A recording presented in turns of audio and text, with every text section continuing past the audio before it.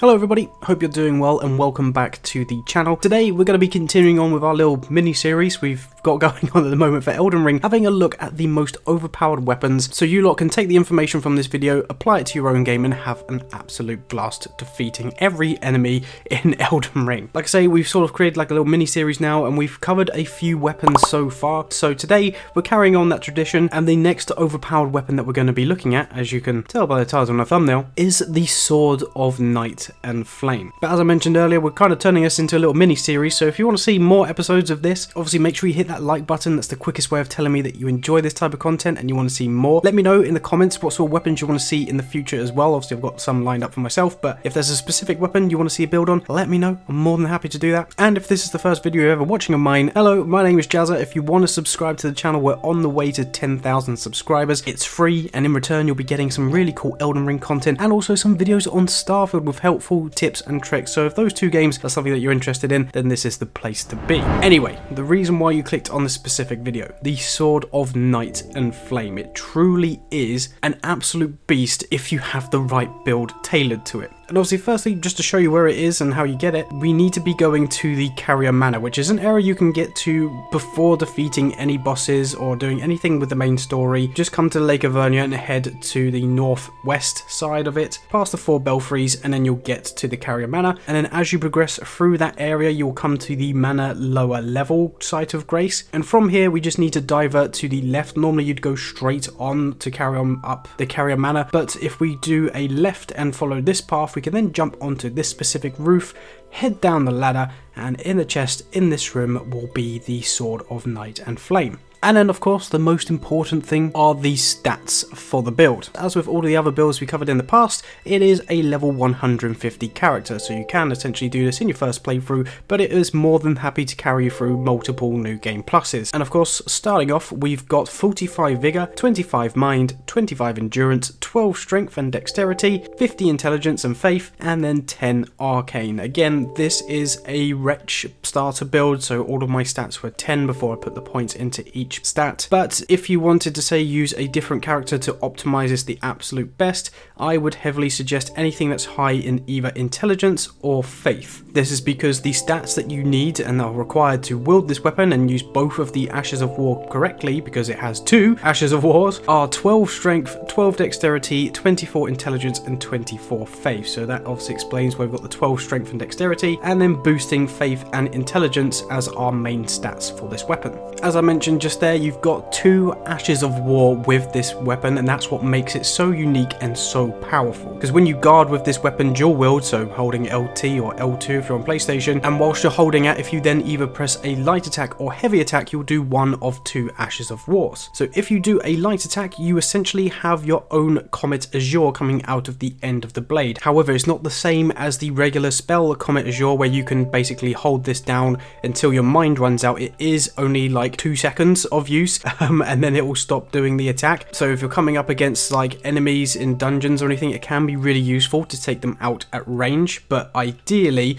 the main Ash of War that we're going to be utilizing, especially with this build, is the Flame Stance, which again, if you hold the LT and then do a heavy attack, you will then launch a wave of flames which just cover your screen, annihilating pretty much anything that's on it. Of course, I'm going to throw up the talismans on screen for you as well, just so you know what I'm using to boost both attack and also slight defense. And of course, with any skill power, the best talisman that you should be using, if you're not, is the Shard of Alexander, as that greatly boosts the attack power of all skills on any weapons that you're using. So we definitely need that. That's our crutch for boosting that flame stance by a high degree. We've also got the Carian Filigreed crest, because again, much like with most of my builds, I love this, especially if we're utilizing a skill power power of a certain weapon because it lowers the FP consumed by that skill. So rather than having to put say 30, 35 mind in order to use it multiple times, we can just whack this on and it's essentially the same as having 30 or 35 mind at the cost of 25,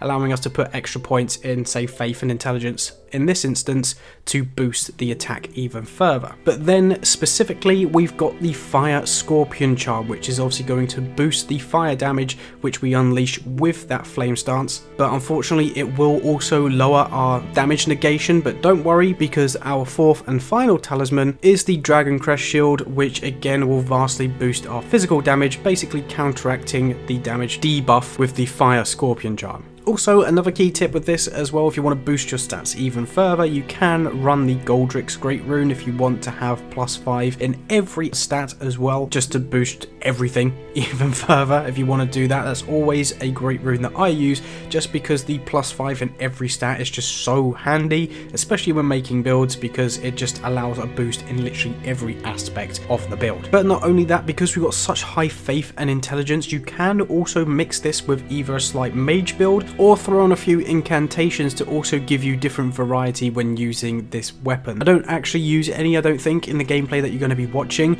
but you can also sort of build like a draconic incantation build if you've got things like the uh, ancient dragon's lightning strike or Lansseax's glaive, even the lightning spear, things like that you can also mix into this build and have a good amount of range basically counteracting the Comet Azure if you're not going to be using it that much, and just add a bit more variety to the build, and also adding things like Golden Vow and Flame Give Me Strength just to boost the fire damage and your own physical damage so much more, and give you again a bit of a boost in stamina and defense with both of those incantations, so that's always nice to have. So you could do that as well, or even also have some mage spells like Terra Magica to help with Comet Azure, but I'll be honest, if you're going to be using this weapon for Comet Azure, you might as well just be be running a mage build because that's just going to be so much better rather than relying on Comet Azure on this particular weapon. And then finally for the rest of the stat boosts as well, we've got obviously the, Wonder Physick and in there I've got both the Flame Shrouding Cracked Tear which boosts fire attacks once again and then we've also got the Cerulean Hidden Tear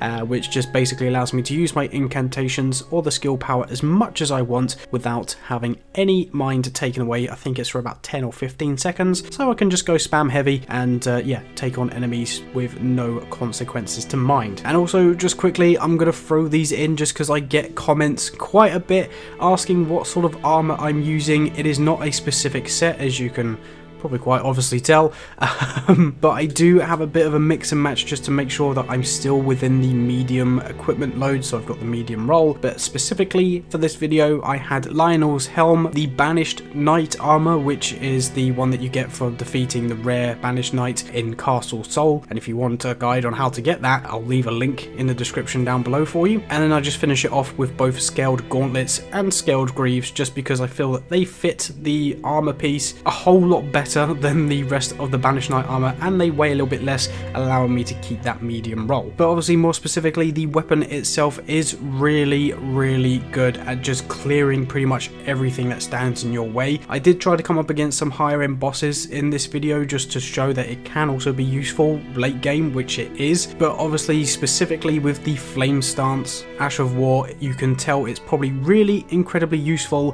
when clearing, say, hordes of enemies. And then for the actual damage output, I'm going to be putting like a side-by-side -side of the damage output just on its own, so with no buffs, just the base stats and the weapon itself, and also when it's completely buffed with everything that we mentioned earlier, so you can see the difference. And we are literally doubling the amount of damage that we're doing with this weapon. It is literally insane. But yeah, I'll be honest, I think I've used this weapon like a couple of times, and even then I didn't really have the right build associated to it, so I never really went back to it. But that's the beauty of these videos, is going specifically into weapon and delving into the stats required and making a build around it to showcase just how overpowered you can make literally any weapon in this game. Of course, as I mention all the time, I am not the best at Elden Ring. It's quite apparent with the gameplay that you're seeing in the background most likely. And there's probably one or two things that maybe I haven't quite optimized fully. So if there are any ways that you can make this build better I always encourage it to let me know in the comments down below if you think there's a way to make it any better than what it currently is because obviously that'll be handy to know if there is a way to make it even better than what you're seeing already. But as always go and pick this weapon up. It is an absolute joy to use it and it's incredibly fun to use in game so I highly recommend going and getting it and trying to make a build around it if you can. As I mentioned earlier make sure you hit that like button if you happen to enjoy this video or found it in any way useful. And if you're new around here here, why not subscribe? We're aiming for 10,000 subscribers by the end of the year, so if you want to help me out in reaching that target,